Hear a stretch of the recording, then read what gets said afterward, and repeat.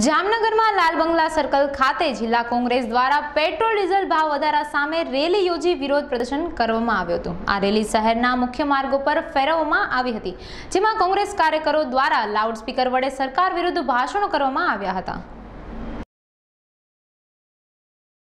અમે જે રેલી કાઢી હતી, એમાં વિશાળ સંખ્યાની અંદર ઘોડા ગાડીઓ, ઊંટ ગાડીઓ, પેટ્રોલ વિનાના સાધનોનો ઉપયોગ કરી અને જનતાને એક સંદેશ આપ્યો કે જો આ પરિસ્થિતિ આમ નામ રહેશે, તો ફરીને પશુ યુગ આવશે.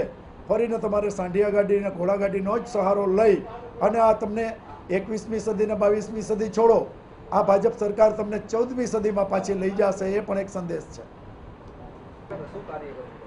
આજે કોંગ્રેસ પાર્ટીએ પેટ્રોલ અને ડીઝલનો જે અસહ્ય ભાવ વધારો આ દેશની જનતા ઉપર ઠોકવામાં આવ્યો છે.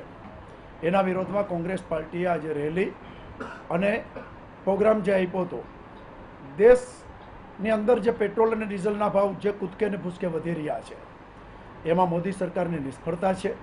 ઇન્ટરનેશનલ માર્કેટમાં પેટ્રોલ ડીઝલના ભાવ કોઈ એવા નથી વધ્યા કે જેના હિસાબે આ પેટ્રોલ ડીઝલના ભાવ વધારવા પડે.